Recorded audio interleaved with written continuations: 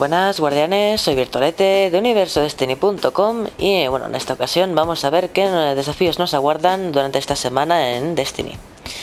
Para empezar con el asalto de ocaso semanal, eh, que sería en la Tierra, sería el de Omnigul. Parte del contenido de la primera expansión llamada La Profunda Oscuridad contaría con quemadura de vacío y malabarista. Después contaríamos con modificadores genéricos como rabia, ocaso y épico en el caso del asalto heroico semanal, tendríamos que enfrentarnos en Venus al Nexo y contaríamos con el modificador en tierra, que hace que los jugadores sufran más daño en el aire. Este modificador puede resultar un importante picor de nariz, pero bueno, no pasa de allí, así que no sumará demasiada dificultad si no empezamos a saltar, como en Super Mario Bros.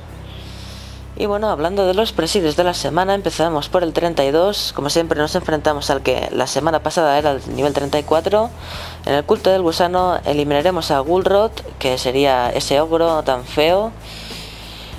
En el nivel 34, en la Legión Rota, nos enfrentaríamos a Al-Cabal Balus Trauruk, el cual pues no tiene mucho misterio. Y también tendríamos eh, la venganza de Escolas, como siempre, a nivel 35. Y bueno, esta semana Escolas nos viene con camorrista y malabarista. No se cansa de intentarlo este señor. Esta semana Varix nos trae casco y escopeta. La habilidad eh, especial de la escopeta sería causar un poco de daño adicional a los enemigos que sean caídos. Además de, con las bajas, añadir un cuarto adicional de daño a los ataques cuerpo a cuerpo de forma temporal. Sería una bonificación temporal. Vamos con los contratos de la reina, pero permitidme hacer un inciso aquí. Y es que os quiero dar un, pequeñito consejo. Como ya sabréis, con la llegada de la próxima expansión, El Rey de los Poseídos, subiremos a partir de la experiencia. Este contrato nos da 5.500 puntos, por lo que os recomiendo guardarlo completado para que cuando salga el, Rey de los Poseídos, junto a más contratos de 5.000 puntos, tengáis ese pequeñito plus de 500 puntos.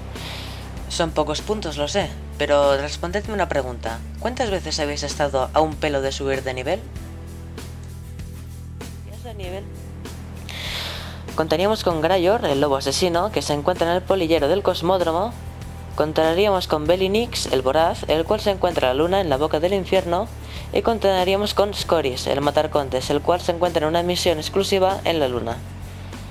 Solo tenéis que cogerlo para desbloquear la misión.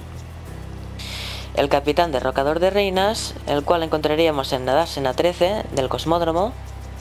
Guardia de los lobos, el cual está en el campus 19 de Venus y los suministradores de éter que también se encuentran en Venus cerca de los peldaños interminables. Ahora puede que me oigáis diferente ya que he tenido un problema con la grabación que había hecho, pero bueno. Eh, como veis, el ocaso viene con daño de vacío, por lo que esta vez paso de dar consejos. Es un ocaso muy fácil, ya que en el caso del ocaso de Omnigul hay pocos enemigos que inflijan daño de, tipo de, vacío, de quemadura por vacío.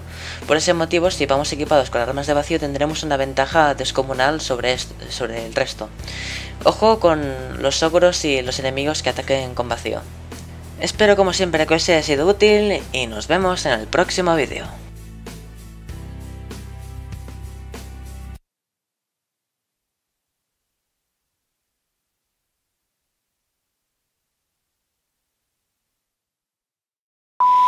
Este sitio quedaría muy guay para el vídeo. Ah, ¿Ahora cómo subo? ¡Eh! ¡Ayuda! ¡Socorro!